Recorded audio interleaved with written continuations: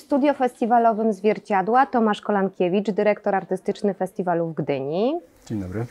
Dzień dobry albo dobry wieczór. Właściwie trudno powiedzieć, bo ktoś, kto nas ogląda, e, ogląda nas w sieci. I to jest właściwie moje pierwsze pytanie, bo też w sieci e, startuje dziś bardzo dużo premier. E, filmy powstają specjalnie do, do, do, do internetu, na platformy. Czy, czy ty się obawiasz internetu? Czy uważasz, że to jest konkurencja dla kina? Ja teraz może odpowiem jako historyk y, filmu w ogóle. Kino ma już prawie 130 lat y, i y, takich zmian, które miały wieścić koniec kina, już było troszeczkę w historii. To był przełom dźwiękowy, potem wszedł kolor, prawda, który zmienił kino.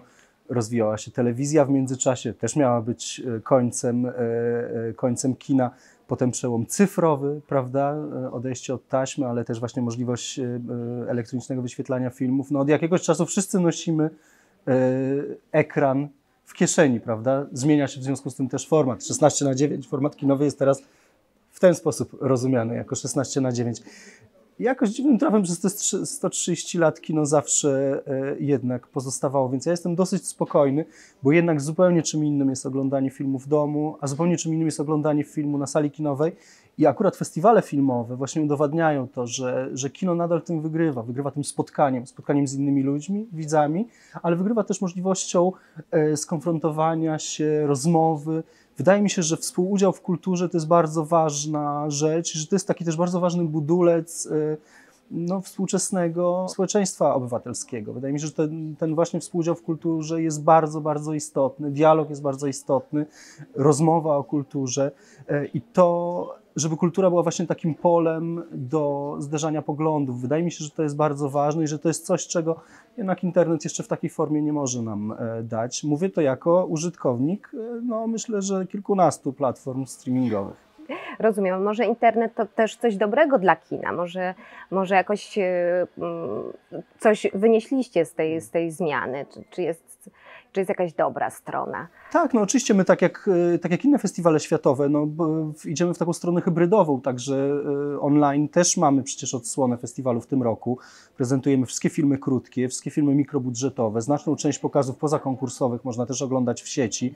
Nagraliśmy rozmowy z wszystkimi twórcami filmów krótkich, będziemy nagrywać rozmowy z właśnie mikrobudżetami, streamujemy też do sieci wszystkie konferencje prasowe, także ten, e, ten repertuar jest bardzo duży. No rzeczywiście do Gdyni trzeba przyjechać po filmu z konkursu głównego, bo też jednak tak. zapraszamy tutaj na miejsce, ale, e, ale nasza oferta jest duża i na pewno wszystko e, to się zmienia.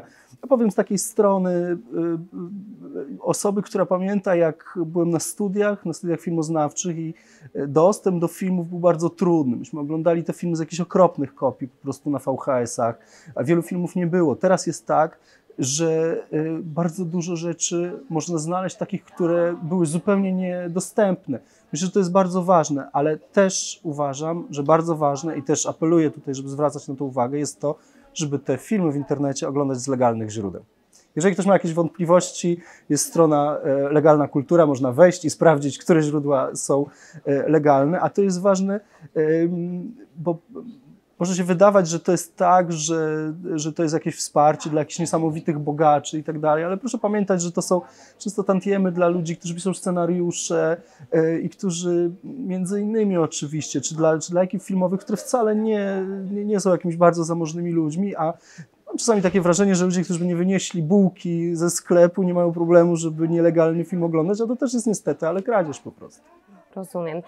Mówisz o zmianach i jesteśmy w studio zwierciadła, magazynu, który w ogóle zawsze stoi murem za kobietami. Ja nie mogę nie zapytać o, o, o, kobiety filmu i o te zmiany, ponieważ branża stoi przed różnymi wyzwaniami e, i, i, i, e, i mówi się tak wiele, zresztą, zresztą na tej poprzedniej edycji na żywo, bo jak, jak wiemy, ta poprzednia edycja rok temu była trochę, e, trochę jednak inna, bezprecedensowa online e, z powodu pandemii. Natomiast mówię o tym, o tym ostatnim festiwalu na żywo. Mieliście nawet taką konferencję poświęconą e, kobietom kina, kobietom filmu.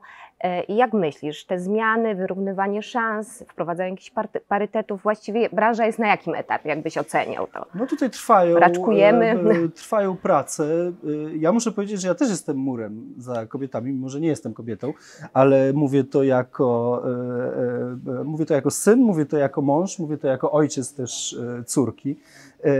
Wydaje mi się, że ten potencjał twórczyń przez wiele, wiele lat w polskim kinie był niewykorzystany i to była wielka strata dla polskiej kinematografii, już poza wszystkim. Całe szczęście prowadzone są prace, żeby te szanse wyrównywać.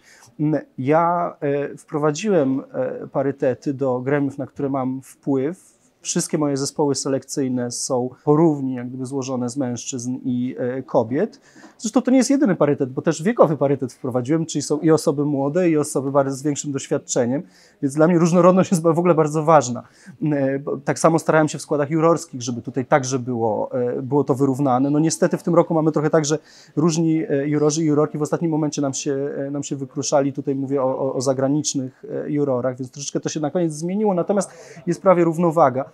To jest bardzo ważne. Natomiast oczywiście ja przy selekcji samej już nie patrzę na e, płeć, dlatego że na to trzeba zwracać uwagę trochę wcześniej. I tutaj bardzo się cieszę, e, że te zmiany się dzieją, że one się dzieją w szkołach. Parę lat temu było tak, że na Wydział Operatorski w Łodzi, najbardziej męski wydział w łódzkiej szkole filmowej przyjęto więcej kobiet niż mężczyzn. To był tak, pierwszy raz. Tak, Agnieszka Smoczyńska tak. o tym mówiła. To zdaje się w ogóle pięć, y, tak? Tak, no to pięć był, to, tak, to był wielki szał. przełom, tak, bo to było właśnie tak, że zawsze tam panowie w bojówkach tylko, tylko byli, a tutaj proszę bardzo, mogą być też roku, operatorki. Tymczasem... A w tym roku same kobiety przyjęte na wydział reżyserii, nie ma ani jednego e, mężczyzny przyjętego, są same kobiety. Oczywiście podniosły się głosy, że jak to, że to niesprawiedliwość, że to jest, że to jest nierówne, no, ale jakimś dziwnym trafem nie było takich głosów, jak sobie mężczyźni byli przyjmowani, bo to jest zawsze właśnie tak, że na to nie zwracamy uwagi.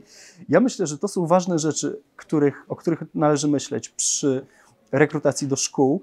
E, znowu, to nie są tylko sprawy, które są sprawami związanymi z płcią. Proszę pamiętać, że e, na przykład w ramach wyrównywania szans były na przykład przyjęcia też dla w PRL-u dla studentów z odpowiednim e, robotniczo-chłopskim pochodzeniem, prawda? Można się oczywiście z tego śmiać, mówić, że to jest źle. W ten sposób do łódzkiej szkoły filmowej został przyjęty Kazimierz Kuc.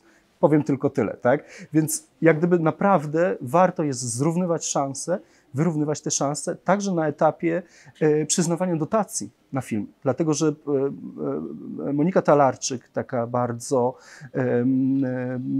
bardzo dobra filmoznawczyni, specjalistka właśnie od kina kobiet i badaczka kina kobiet, mm, ona przeprowadziła takie badania, które sprawdzały, jak dużo absolwentek robi debiut, jak dużo absolwentek potem robi film drugi, no te proporcje są straszne. No, jeżeli chodzi o Początki drugi świetne, film, szkoła 18, wspaniale. tylko 18% y, jak gdyby jest, jest dysproporcja aż tak wielka. Więc całe szczęście to się zmienia. W konkursie y, głównym mamy, y, mamy dużo filmów reżyserowanych przez, przez kobiety, ale mamy też całe szczęście, w, jak patrzę na konkurs krótkometrażowy, to już ta proporcja jest znacznie inna. Także liczę, że, że wkrótce to się będzie wyrównywać. Mówię o tym właśnie z tej perspektywy tego potencjału, który drzemie. W, w, no to jest tak, jakbyśmy mieli pół, połowę społeczeństwa, które jest wykluczone. W związku z tym niewykorzystane mamy... talenty. No właśnie, a było tak, że to, no, no tak, no, że to były montażystkami, oczywiście były kobiety, no bo to taka też niewdzięczna była praca i ten. Teraz to się całe szczęście zmienia, ja się z tego bardzo cieszę, bo to jest, e, bo to jest dopływ po prostu świeżej energii dla, do tego krwiobiegu filmowego i to potem będzie też widać w filmach, więc tutaj super. No zresztą nazwiska jak gdyby tych reżyserek, które ostatnio wypłynęły w ostatnich ostatnich latach.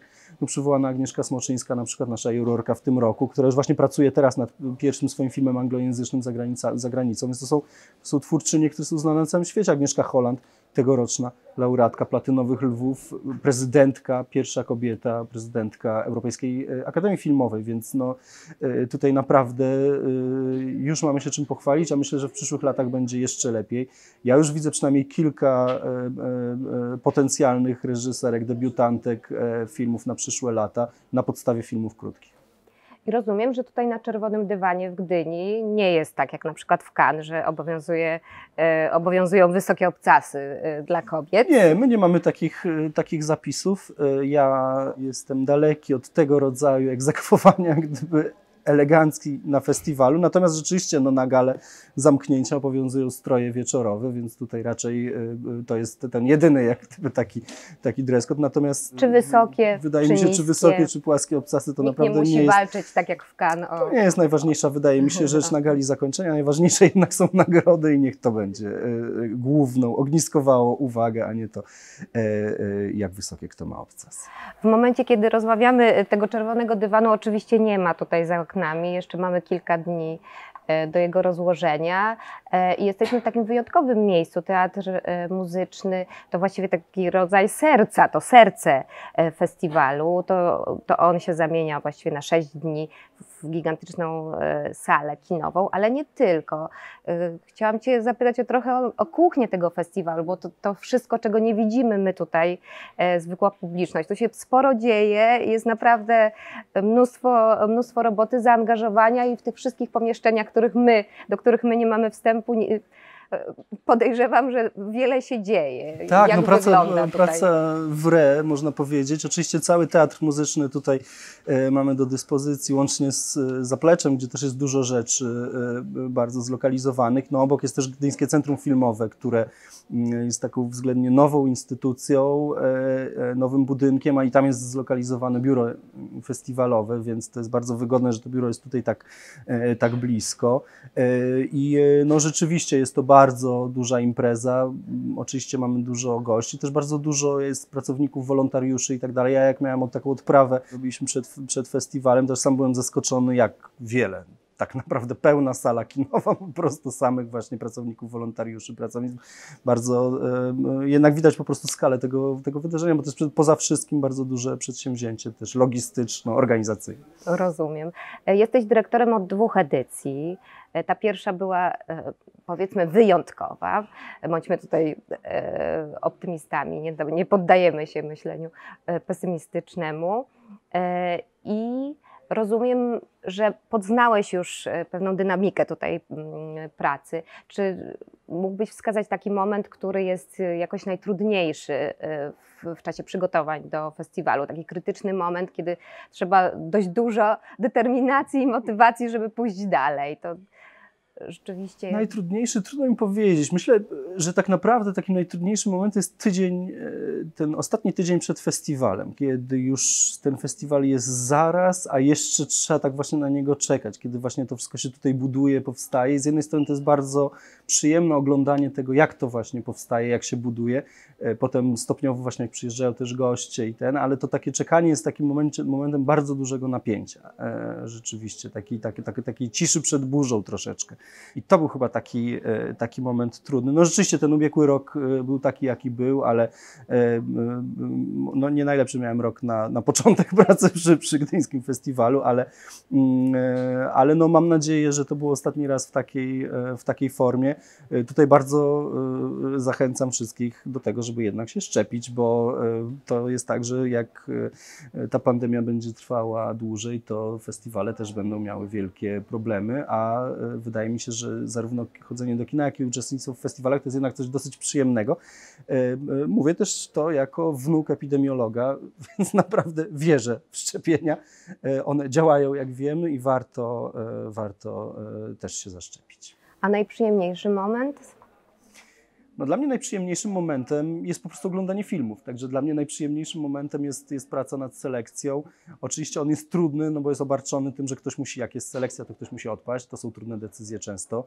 Yy, yy, Trzeba brać pod uwagę bardzo różne rzeczy, też mieć ogląd całości tego, jak się komponuje ten, ten konkurs, ale też pamiętać o tym, że yy, ile nagród my wręczamy, to nie są tylko nagrody dla najlepszego filmu, ale to są też wszystkie nagrody indywidualne, więc, więc to jest trudne, ale bardzo dla mnie przyjemne, bo tych przeszło 100 filmów, yy, yy, no ja jestem filmoznawcą, to jest to, co ja lubię najbardziej robić po prostu.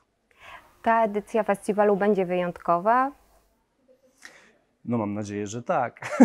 mam nadzieję, że tak. Na pewno ten powrót po, po roku przerwy e, napędza w taki pozytywny sposób e, e, oczekiwania. E, Bardzo mnie cieszy ten dopływ e, świeżej krwi, dopływ, dopływ młodości. E, Mam nadzieję, że e, no wiem jak gdyby, że, jest bardzo, że są bardzo silne konkursy, więc o to jestem spokojny, ale mam też nadzieję, że to wszystko e, jak gdyby organizacyjnie też się uda i że, i że za ten tydzień będziemy wszyscy sobie mogli gratulować. Zaprosiłbyś widzów naszych na festiwal jako dyrektor artystyczny. Oczywiście e, b- bardzo serdecznie e, zapraszam na 46. edycję Festiwalu Polskich Filmów e, Fabularnych w Gdyni oraz online.